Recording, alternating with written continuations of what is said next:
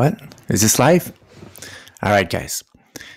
So I like a lot, a lot of data. And to get the best weight of evidence, I need the, especially in this precious metal sector, silver, gold, I want to know about uh, 100 years of data. I want to know about um, anything that's related, Fed fund rates, inflation, etc.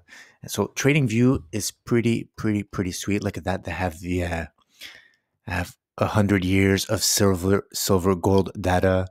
I have a hundred years of let's say the Dow, DJI. Pain. Look at that. Bam. 100 years of the Dow. And check it out. I know, I know. Wait, guys. What are you doing, Pat? We want to know what you're going to do. Okay, check it out. Okay, so here's my Dow logarithmic. And now I wanted to have 100 years of Fed fund rates. I want to know how the Fed fund rate played with, uh, if there's any correlation, any effect with my uh, silver price. Check it out, Fed, Fed we go. Fed fund rate, new pane. But look at that. The Fed fund rate, it stops at 54. And I said, wow, look, there's so much. What happened here? What happened during the Great Depression? What happened? Silver for these prices move. Did it always react the same way? Um, when there was high Fed fund rates, my uh, did the silver peak, etc. Just like easy, easy, uh, just preliminary type of work I love to do. So here is where it gets tricky. So there's with Quandl, we're able to get, um, or we can go out of trading view and we could get a whole bunch of data. And this is the Fred. So Fred slash uh, M13009 USM 156 NNBR. That is, I Googled, I Googled um, because the Fed fund rate before certain years, before like let's say 55, they called it the uh, it was a New York Fed overnight rates, but and they just like renamed it.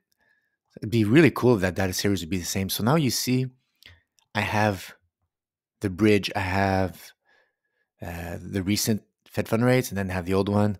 And now I want to put them on the same chart you could click and drag, put it uh, both in the same pane. You could do right click, move to existing existing pane above. Look, oh, we're getting somewhere. Let me zoom that up. Now, see, they're not really attached. So right click, merge all in one scale, and look at the magic. Bam. You have over 100 years, 105 years of Fed fund rates now you could just change the color. You see the input here, Quandl.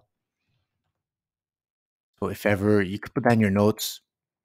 I like I have some notes here where I put my stuff. So if ever you you don't even put in a watch list or something, just put in your notes, and then all you have to do is a copy paste of that in the. Uh, could even add it here. Now I could even make it cool looking. Style. Let's make it black thin. Make this one black. Oh yeah, there is a new tool I'm not practicing. So there you go, 100 years of Fed fund rates. And then you could even like put silver chart on top. Then you could see how it reacted. Uh, put the Dow. It's like, this is insane. So much, so much slided above. The click and drag is pretty cool. So you see how, how it works. And uh, yeah, I'm not going to deep dive anything. I just want to show you this little hack and uh, hopefully you find this useful. I have another step above. I'm going to do a little video later is how to get the real rates so that when you have two, because I have this composite of two uh, data series to make one large uh, chart. If you want to do like a division, like let's say I want to see adjusted for inflation, um, I have a trick for that, and I'm going to do that another video to keep this one short, which uh, I've overextended, baby. All right, guys. Hope you enjoyed, and uh, any comments or questions there, don't hesitate. Ciao, guys.